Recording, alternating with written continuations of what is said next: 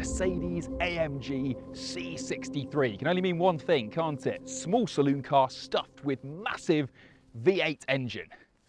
Um, not anymore, it isn't. You see, in the new C63, you don't get eight cylinders. You don't even get six cylinders like you get in an M3. Instead, you get a two litre four cylinder engine with a massive dollop of hybrid boost. I feel like AMG was so worried people will get upset about the loss of the V8. They've just gone crackers with the power numbers.